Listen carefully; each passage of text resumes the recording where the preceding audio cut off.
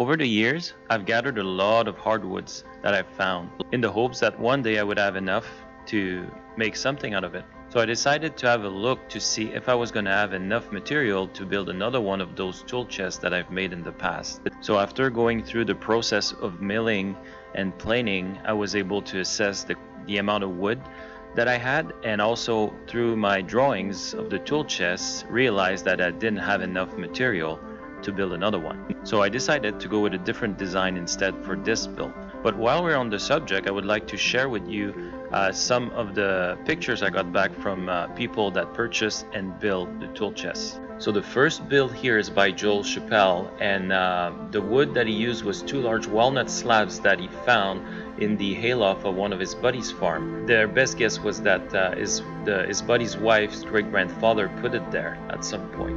Uh, he did change the drawer layout from my blueprints. I uh, used six drawers at the top instead of eight. He finished the box with uh, blonde shellac and the red velvet in the interior. The wood has an amazing curl to it. Joel built this tool chest within a month and he says he was going to give the chest to his uh, friend family in a few weeks. So the second one here was built by Donald Beatty. This is the first set of picture that one of the people that built the tool chests uh, actually sent back to me. Donald built this tool chest for his brother and he said that his brother was blown away uh, by uh, the looks of it. Donald said it was a joy to make and he can't wait to make another one. So after the glue ups were done, I had to size and thickness my parts and make sure they were square to get started with the dovetail assembly.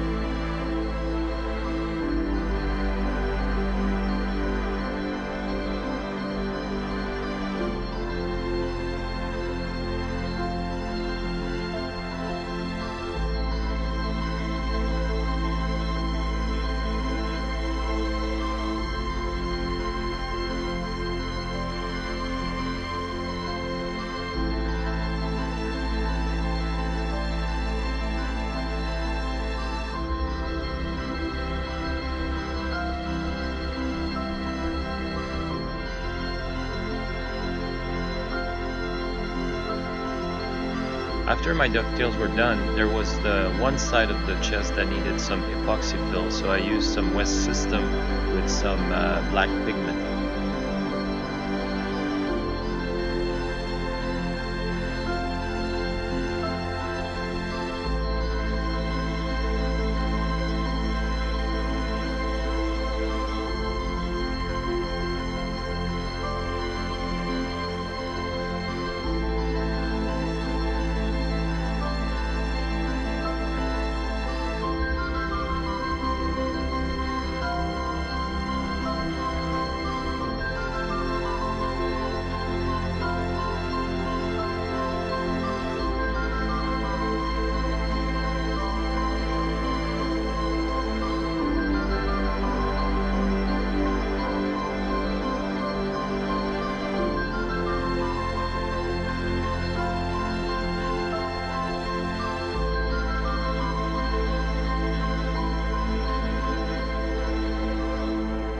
Now that the outer shell was dry fitted and it was square, it was time to put the, the layout for the inner divider and the back piece.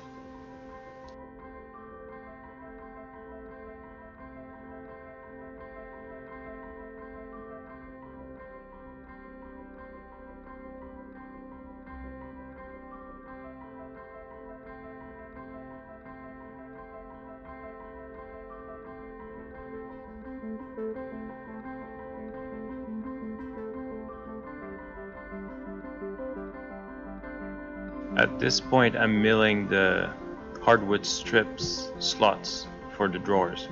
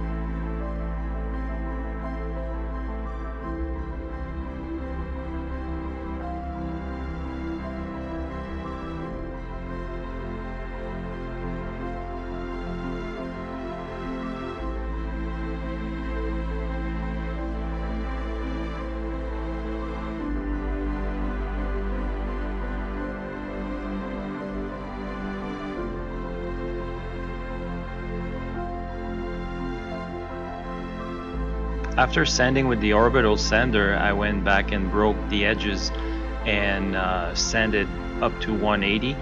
Uh, this will allow the gel finish to actually get a nice dark color on the case because I, I, wanted to have a darker color for the outer red oak and my drawer I was able to uh, select a few pieces, uh, enough pieces I should say, to uh, do the, the front. So the front drawers are going to be white oak and the case is red oak.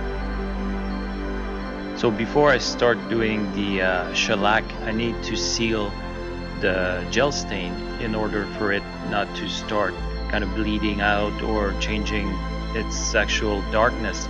So I'm just going to put like a couple coats of lacquer and then uh, knock the high edges of the lacquer itself and then I'll be able to start applying a dark shellac on top of it.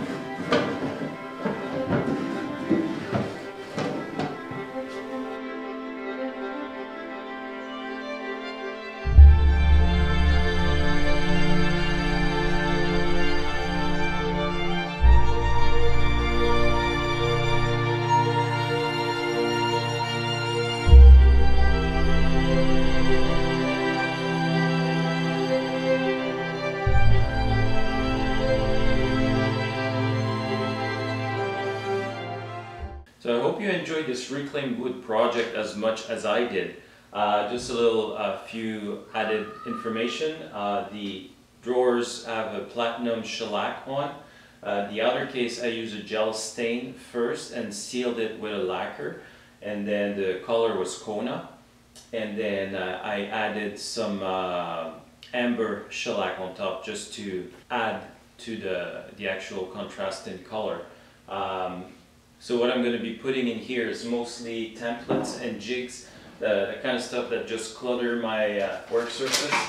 So like uh, you've seen me uh, use those before. So some of you might be wondering if I'm going to make those prints available. Uh, I will not because the construction is a lot more basic than this one and you can basically change the construction or the, the, the layout of the drawers uh, any which way you, you like the same way as I showed earlier in the video. So I still have those prints available for a very small amount of money you can get your hands on them. If this helped my channel, uh, just leave me, uh, send me an email through the contact form down in the description below and uh, I can uh, send you a, a, PayPal money request and then exchange the files this way. Uh, so once again, I want to thank you all for stopping by, watching this video. I really appreciate your time and until next time, I wish you well.